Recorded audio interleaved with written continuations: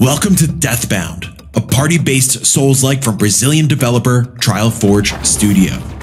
In Deathbound, you are introduced to an innovative combat system that allows you to seamlessly switch to various characters hosted within the body of one, forming a party.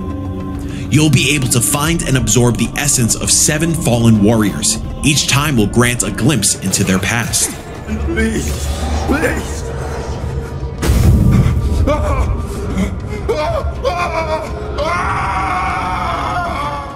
Each character possesses a unique fighting style, from spell slingers, brutal maulers, skillful swordsmen, and even a graceful capoeira fighter.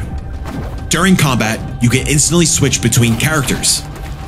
Known as morphing, this mechanic allows you to synergize the party members to overcome the challenges before them.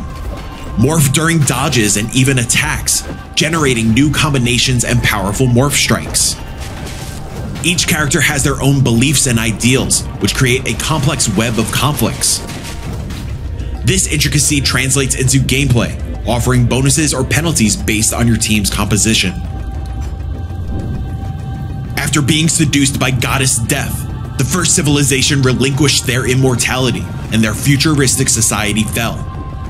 Deathbound takes place centuries later in a medieval world of diverse settings from hospitals to football stadiums, embroiled in the Church of Death's crusade against the cult of life.